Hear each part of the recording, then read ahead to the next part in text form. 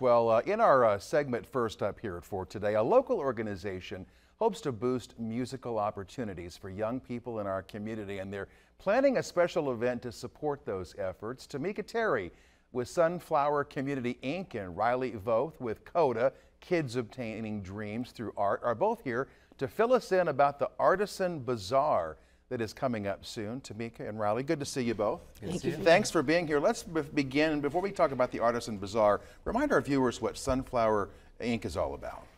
Uh, thank you for having us. So, Sunflower Incorporated um, actually started uh, with the owner and founder, Julia Natlin Richardson, during the pandemic.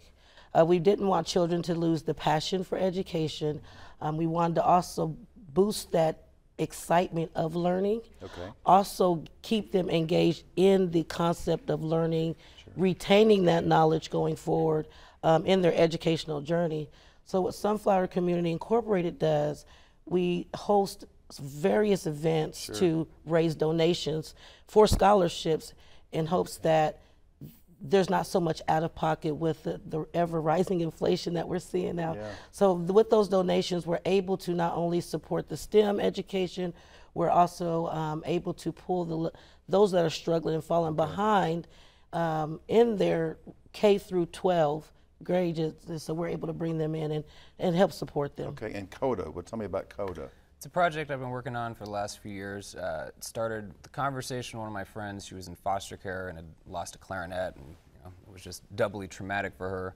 So she had an idea of putting together an instrument donation program specifically designed for foster care kids, low-income communities in general. And so we are like, we have to do this. That's great. And COVID happened, kind of shut down operations, but fortunately I was able to meet Julia over at Sunflower in November, and okay. since then we've kind of partnered uh, to add, you know, a musical component and arts component to what she's doing with tutoring. Worthwhile efforts on both of your parts, obviously. Tell me about the Artisan Bazaar. It's coming up a week from this Saturday on May 6th, and it aims to give kids some musical opportunities. What, what is it all about? Absolutely. So, artisan, when you think about the word, it kind of derives for artists, and that's the whole thing, you know, and, and kids can obtain so much of their personality and character through the arts. Mm -hmm. Uh, we we have Noto right there located in North Topeka. Right. So right over the bridge of Oakland, come on over, let the children see the various different instruments and actually play with local artists mm-hmm. as well. Sure. What are, what are your hopes for this event? I mean, I know personally growing up, music was a big part of my life. I played the viola back in the day, sure. don't anymore, but I did, I did, and it was an important part of my life, and it gave me a great foundation. I'm sure you all hope that for other local kids. Yeah, of course. part of the idea is to link youth with local musicians and people coming in. I've got some uh, friends from Kansas City coming in to perform, just for them to see the live component of it, because it really, it really aren't that many venue and opportunities for kids to see live music, really regardless of their economic status. So being able to see what it looks like to play drums or mandolin or whatever instrument happens to be. So just to be around it and the hope is kids can select an instrument that they would be particularly drawn towards. Sure. Instead I mean, of, here's a trumpet. Now you got to play. Yeah, yeah, you want them to play or, or be involved with what, what works for them best. And you're going to have a lot of different activities at this Artisan Bazaar. Absolutely. Color and, oh, food. Can't food. forget got, food. Got to have the gotta food. Have food. Yeah, yeah. What else are you going to have there?